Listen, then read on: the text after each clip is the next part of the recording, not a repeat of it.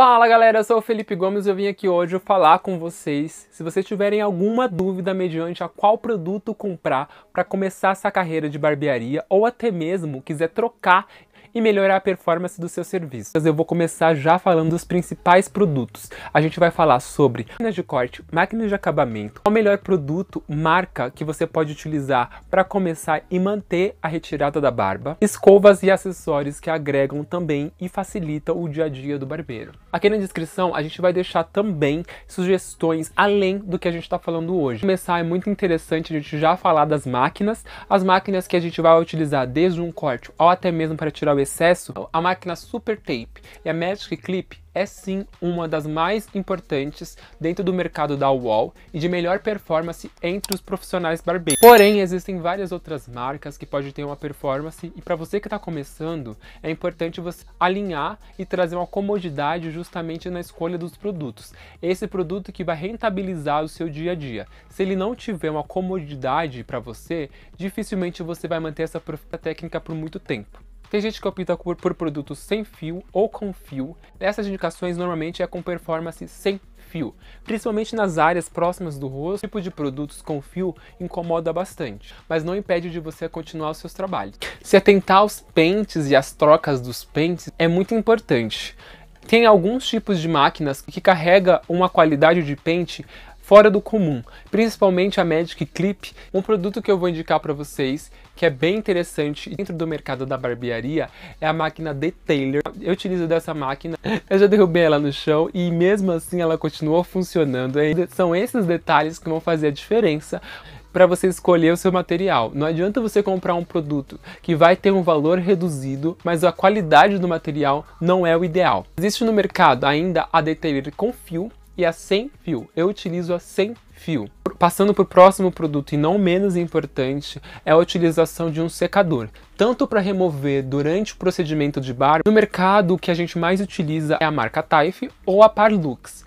As duas têm sim a sua diferença. A Parlux, ela tem performance, a durabilidade. Na minha opinião, a Parlux acaba não ganhando muitas estrelas justamente porque a performance de saída de vento não é a mais alta. Porém, ela se mantém ainda muito alta mediante a quantidade de tempo e durabilidade. A Taifa, além de ser mais acessível, a durabilidade também tem seu valor se você souber cuidar muito bem e você tem uma diversidade de produtos dentro do mercado. Ver utilizar e escolher os volts é muito interessante você utilizar dos maiores volts. Se você quer utilizar isso em casa de uma forma amadora ou mesmo não atende muitos clientes, utilize dos volts menores, assim você pode economizar também essa ideia de utilizar do pente. O pente vai facilitar com que você utilize das linhas e demarcações e não se perca. Mesmo se você já tem experiência dentro do mercado da barbearia, utilizar do pente ou até mesmo ensinar o seu cliente a otimizar esse serviço em casa vai ser muito importante. Então, utilize do pente para poder detalhar as linhas que realmente mudar uma das maiores perguntas que os clientes, tanto homem quanto mulher, é qual escova utilizar.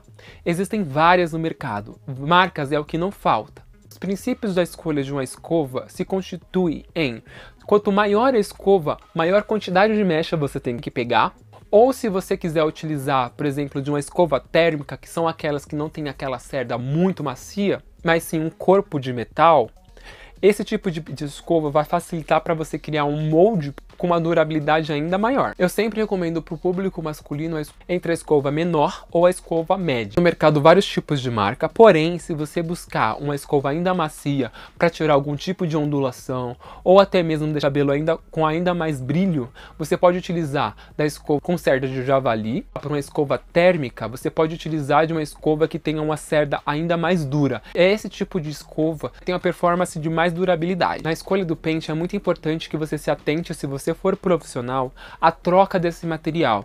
Deixe separado a quantidade para cada cliente. Se você não tem essa quantidade, se atente também a utilizar produtos que sejam de boa higiene. É assim que os clientes vão se atentar também à sua performance profissional. Substituir em álcool ou até mesmo lisoforme. Produtos que tenham uma performance equilibrada para que não crie-se a alergia próxima à pele do cliente, te protege e protege também o seu cliente contra algum tipo de doença. É muito importante que você tenha pelo menos dois espanadores. Existem vários estilos de espanador, dos maiores aos menores, com diversos tipos de cerdas. Eu gosto muito de utilizar as cerdas que são mais enrijecidas, é assim que você vai conseguir tirar os fios, principalmente da barba.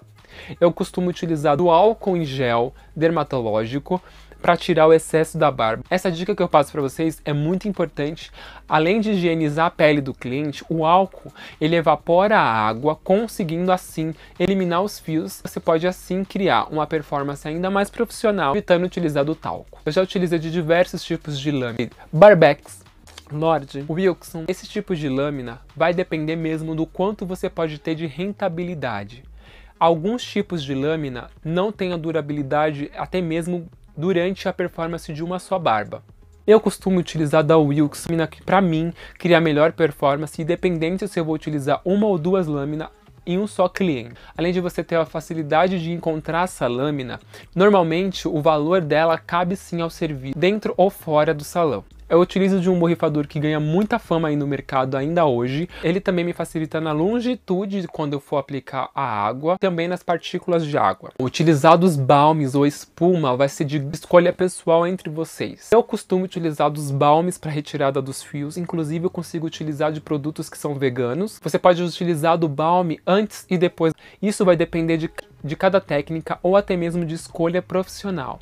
Na maioria das barbearias, a gente tem costume de utilizar as espumas em aparelhos que sobreaquecem. Porém, se você não tiver em casa, não tem problema. O ideal é você buscar uma espuma ou até mesmo um balme que tenha ação dermatológica, antialérgica, e que cria uma melhor absorção e fecha os poros ou até mesmo corrija algum dano que cria sobre a pele. Navalete. A navalete você encontra de diversos tipos de material, do plástico ou até mesmo a de osso. Eu costumo utilizar de osso, é fácil você encontrar na internet. E para você que quiser melhor a comodidade, utilize navalhetes menores, se você quiser levar no bolso, ou se você quiser a melhor performance, eu costumo indicar as navalhetes maiores. Capas e toalhas. A escolha da melhor capa é importante, é esse, é esse tipo de capa que vai proteger seu cliente. Ele sim vai se atentar mais a esses detalhes do que só tirar a barba. Ninguém gosta de sair com a roupa cheia de fios ou até mesmo um sapato cheio de cabelo. É importante você utilizar do comprimento que facilite para você utilizar ali na hora da performance com o cliente ou utilizar até mesmo um kimono, que é o que eu utilizo ali no salão. A gente utiliza um kimono, que ele se fecha entre o cliente, assim você tem maior otimização, utilizando além do kimono alguma toalha toalha, é importante que você utilize de uma toalha seca próxima do cliente e outra molhada para poder fazer a abertura dos poros e aí facilitar a remoção desses fios sem agredir a pele do cliente. Alguma dúvida é muito importante que você deixe aqui no comentário.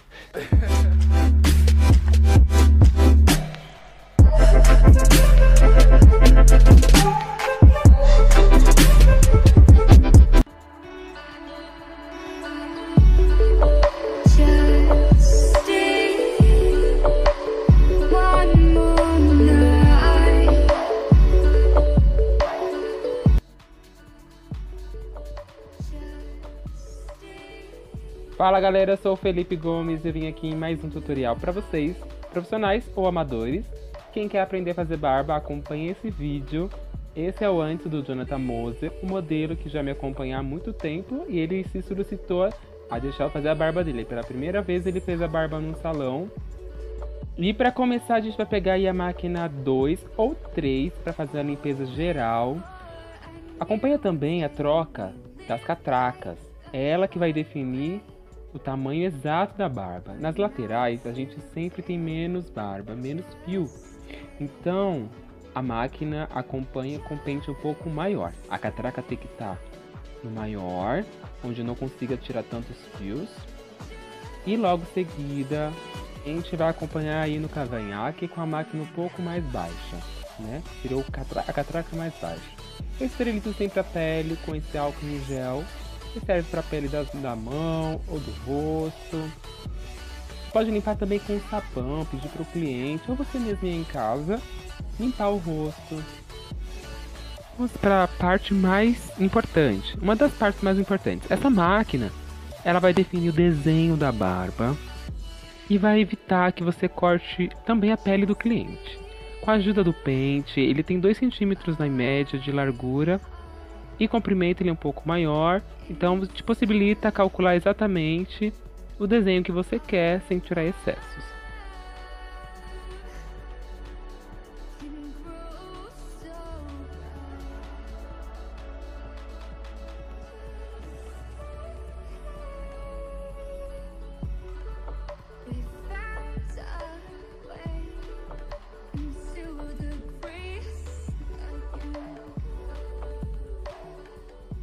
Limpando os dois lados, a gente vai passar a cuidar da pele.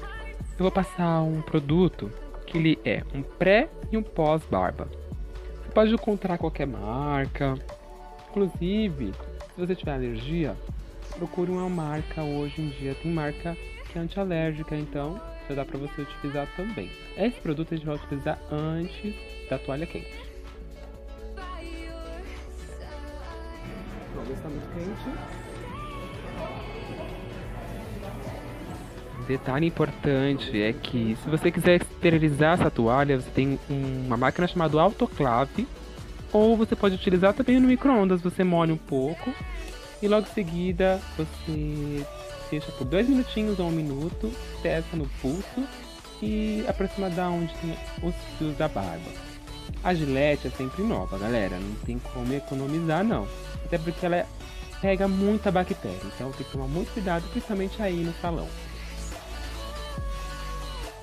Seguindo agora para os desenhos, é muito importante você perguntar para o cliente se ele tem alergia ou não à lâmina. Porque tem gente que tem alergia à tração. Isso pode ocasionar fios encravados ou até mesmo pode cortar a pele dele. Então tem que tomar muito cuidado. O Jonathan, ele, na verdade, ele tira sempre a favor do crescimento dos fios. Algumas partes dá para você usar e fazer contra o crescimento dos fios. Quando você faz contra o crescimento, a pele fica bem lisa. Eu sempre também dou essa dica de repor o produto logo depois que você tira com a lâmina. Vai evitar que o contato com a lâmina, se tiver alguma bactéria ou se tiver algum poro aberto, ele se feche mais rápido.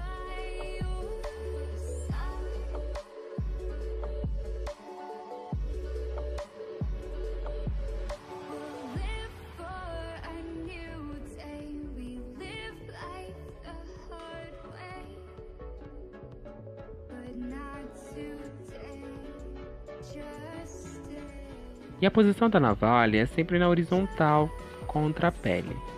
É como se você estivesse quase tirando os fios com as pontas da navalha, só que na verdade você está deitado com a pele. Isso vai evitar que você aproxime muito e corte a pele. Também é muito legal você puxar, tá vendo? Essas dicas de puxar um pouco a pele ajuda bastante os fios levantarem e você consegue tirar com precisão, limpando ainda mais, deixando a pele ainda mais brilhante. E você sabia que a barba é um ponto de mais foco de bactéria que tem no nosso corpo? Então, é muito importante você limpar essa região da boca, deixá-la livre, justamente para não acumular comida ou resíduos de alguma coisa.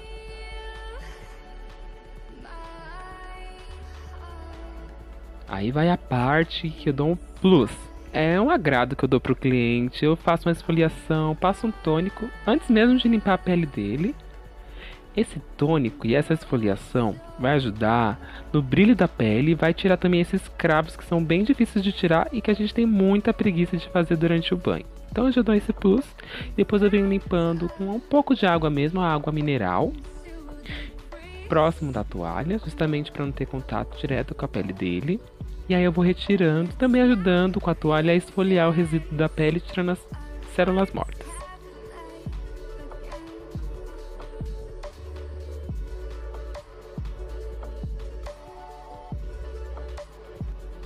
A finalização é tão importante quanto começar.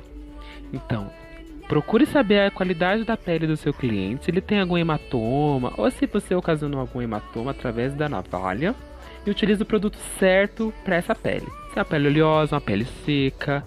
Eu sempre utilizo um tônico tradicional ou um tônico orgânico, um tônico que não vai deixar alergia nas pele, na pele do cliente.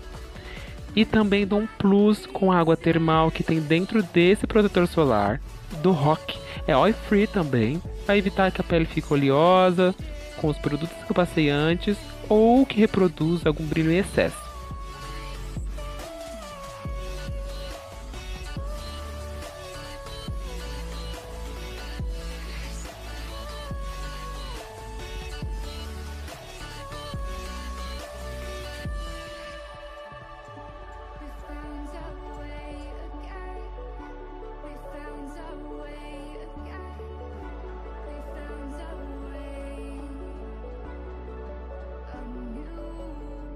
E aí, você acha que eu te ajudei? Comenta aí se você tem alguma dúvida, compartilhe com seus amigos e curta esse vídeo para a gente continuar fazendo esse conteúdo tutorial. É muito importante que você aprenda, passe no estágio, mostre para o dono de um salão ou você aí em casa, pegue essas dicas para melhorar o seu dia a dia e facilitar. Com treino você vai muito longe. Quero agradecer aí o Jonathan Moser, siga ele no Instagram, ele é um grande amigo, modelo e é isso aí. E eu fico por aqui e acompanho os próximos tutoriais. Até mais.